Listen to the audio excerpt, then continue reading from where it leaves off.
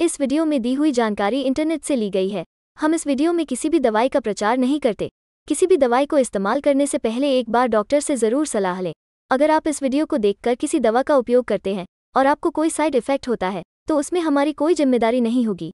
ऑस्टावा एक M tablet का इस्तेमाल एचआईवी संक्रमण और क्रोनिक हेपेटाइटिस बी वायरस यानी कि एचबीवी संक्रमण के इलाज के लिए किया जाता है।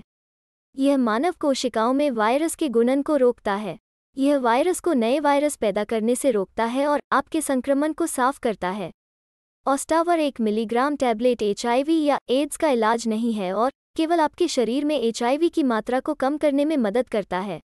यह एचआईवी से संबंधित जटिलताओं के आपके जोखिम को कम करने में मदद करता है और आपके जीवनकाल में सुधार करता है। यह अन्य एचआईवी दवाओं के संयोजन में निर्धारित है। आपका डॉक्टर आपके लिए सबसे अच्छी दवाओं की सिफारिश करेगा और आपके लिए आवश्यक खुराक तय करेगा। आपको दी जाने वाली सभी दवाओं के निर्देशों का ध्यानपूर्वक पालन करें। इसे भोजन के साथ अथवा बिना लिया जा सकता है। इन सभी दवाओं को नियमित रूप से सही समय पर लेने से उनकी प्रभावशीलता बहुत बढ़ जाती है और एचआईवी के प्रतिरोधी बनने की संभावना कम हो जाती है। यह महत्वपूर्ण है कि खुराक न छोड़ें और उन्हें तब तक लेते रहें जब तक कि आपका डॉक्टर आपको यह न बताए कि इसे रोकना सुरक्षित है। इस दवा के सामान्य दुष्प्रभावों में सिर दर्द, मतली, उल्टी, पेट दर्द, थकान, दस्त और दाने शामिल हैं।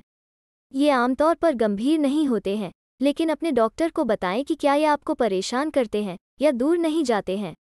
शायद ही कभी कुछ लोगों को त्वचा की प्रतिक्रिया या जिगर की क्षति का अनुभव हो सकता है।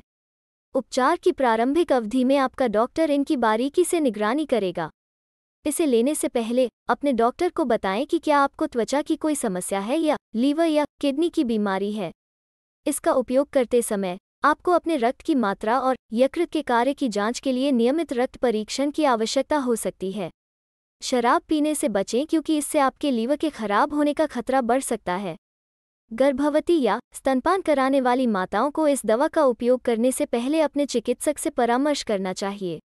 यदि आप एचआईवी पॉजिटिव हैं तो असुरक्षित यौन संबंध न बनाएँ या रेजर या टूथब्रश जैसी व्यक्तिगत वस्तुओं को साझा न करें।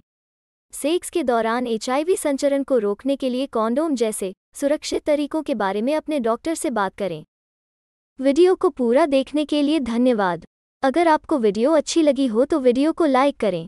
और साथ ही हमारे चैनल को सब्सक्राइब करके नोटिफिकेशन बेल आइकॉन पर क्लिक करें और ऑल नोटिफिकेशन को क्लिक करें। धन्यवाद।